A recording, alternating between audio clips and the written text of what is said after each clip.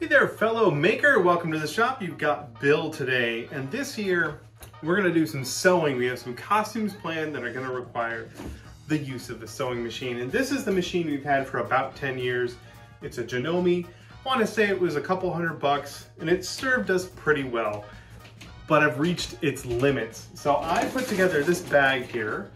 This is one of Adam Savage's EDC bags. I bought the pattern and built this out of sailcloth. In fact, my dad races sailboats and I conned him into giving me one of his old sails.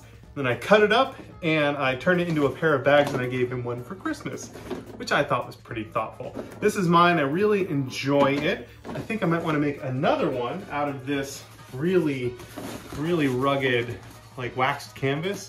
This is what I bought to make the head strap part for my ecto goggles. And as you can see, I have a lot left. So I need a machine that can handle thicker, more durable material, maybe even leather. This sailcloth was especially challenging for this poor machine right here. It really struggled and there were some spots where I had to give up. For example, I hand stitched these little leather things here because the sewing machine just couldn't go through that. So we bought a new sewing machine. Let me show you the new machine. Out with the old and with the new. Lift with your legs. That's right. We uh, we splurged a bit and got a Sailrite. Thing is, I have the opportunity to go visit some of my friends' shops, professional shops. And I get to visit Adam Savage's cave, and I get to play with all their tools and stuff. And then I want them. I want the very best, and that's what this is. And I gotta be honest, I'm a little intimidated. It's a little, uh, it's heavy, it's really heavy, and it has absolutely no chill. The uh, speed pedal is right here, and when you press it down this thing, here, let me plug it in. I'll show you what I mean. There we go. If I just touch this a little bit, it really goes. Here, let me get you a closer look.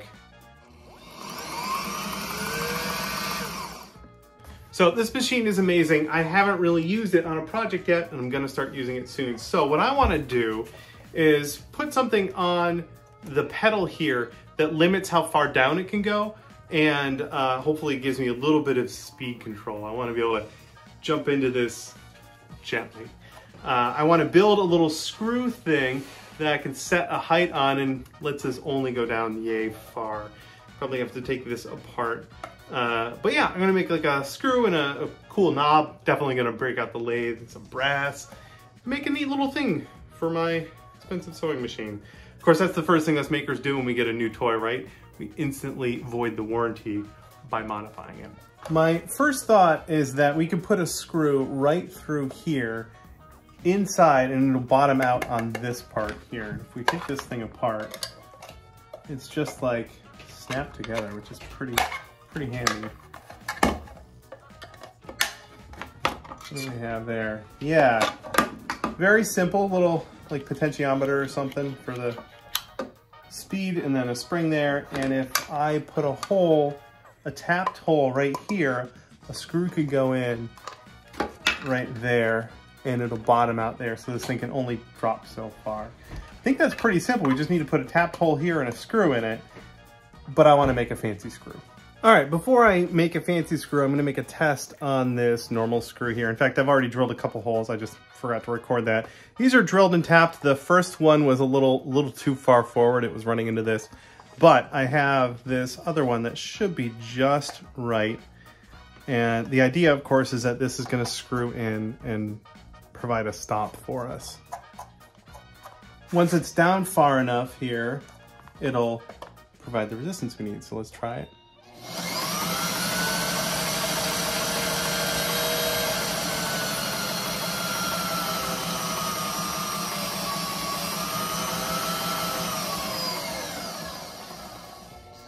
That's what we want. Proof of concept that totally works. I could just leave this as is, but I really want to play with my lathe and I want to make a nice big brass knob for that. I think it'll work out really well for us. That, that functionality is pretty perfect. Yeah. All right, let's go make a pretty thing.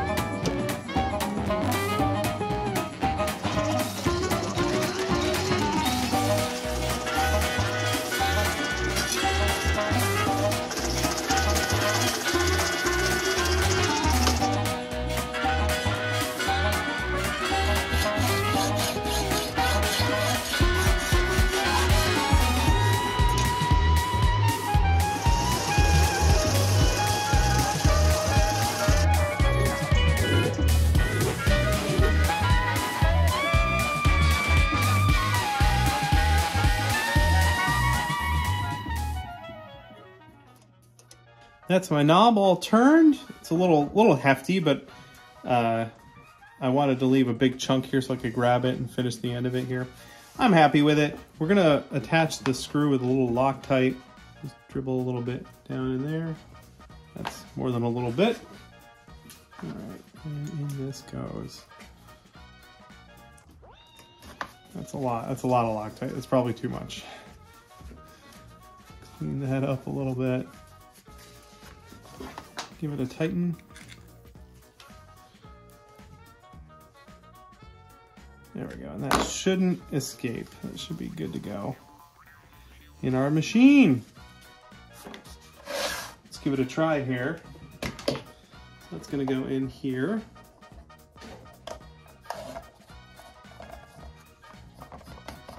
Oh, that feels good. A lot of, lot of grip. a big heavy screw.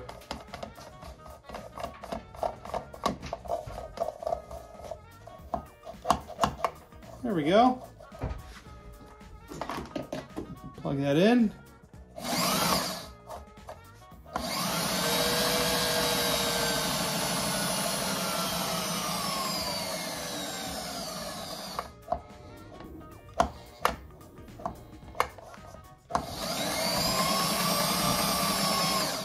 All right, little adjustment knob with a little like plus and minus. I'm probably just gonna set it to a speed I like and then just use it like that. I think that looks pretty cool so long as we ignore the extra hole I made right there. Let's, well, this will be on the ground, we won't see it. Let's try and sew something. All right, here we go. I think we're all set. All right, let's give it a try.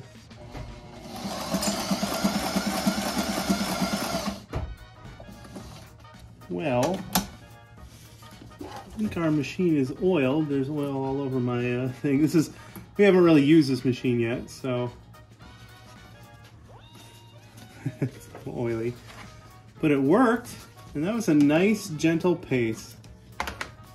Let's see. Yeah, it seemed to work all right. This is that thicker, um, what would you call it? Uh, wax canvas. Let's uh, let's double it up and give it a try.